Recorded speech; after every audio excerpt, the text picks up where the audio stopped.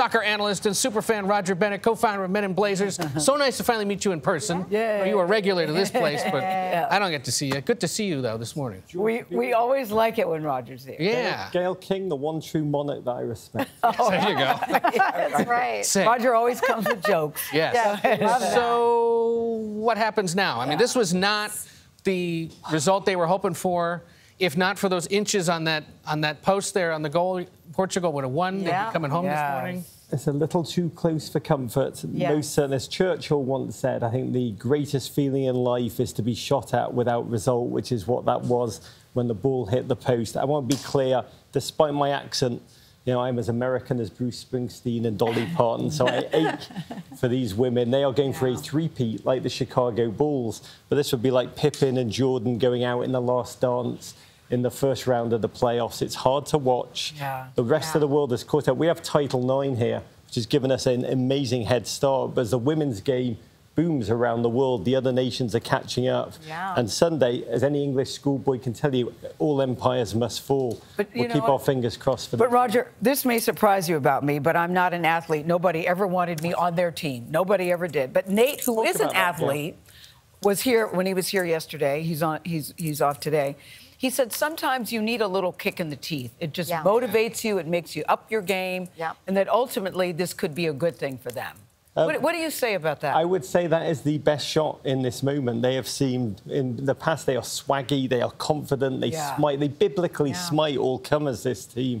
They've seemed just vulnerable. They've seemed lost. They've lacked direction. Look, in the long term, this is a great thing. The women's game is booming around the world. In this World Mm-hmm. Cup, seconds ago, Jamaica shocked Brazil and Yeah. are through to the knockout round. huge. That was, this yeah, World Cup has been about you know France, Germany, England, yes, but it's been about Haiti.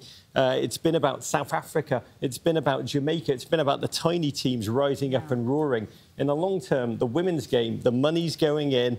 The game, the quality is going. This World Cup, which used to be almost a walkover for the United Yeah. States, globally is going to be one of the great competitions. I mean, that is Must good feeling news. tremendous Yeah. pressure today, don't you think? They all, uh, we've been working with two of the players, the captain Becky Sauerbrunn and the best midfielder Sam Mewis, who are unfortunately injured, which is part of the problem. And they say this team constantly plays under pressure. They said there's no greater pressure than practicing with this team because you're playing against the best players in the world. They live with pressure, they thrive with pressure. Uh, but the other teams, they are bloody good. It's no cakewalk. And Sunday, for the first time, this team that have never failed to get into the semi-finals of the World Cup will be underdogs. It's a deeply unusual position. Yeah. And and Sweden, I mean, how tough is that matchup going to be? They haven't lost a game yet. Sweden are very strong. They're very physical. They're very powerful. They're very blonde.